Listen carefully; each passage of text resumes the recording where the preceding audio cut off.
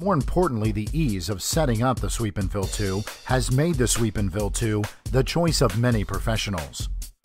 Now let's talk about the setup. Level the towing vehicle. Attach the Sweep and Fill 2 to the towing vehicle with the Sweep and Fill 2 in its lowered position, which means transport wheels off the ground.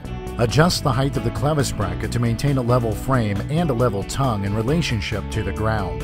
Adjust so frame and tongue are within a half inch of the same distance from the ground. Do this by positioning the four 5 16 inch bolts into holes required to maintain a level frame.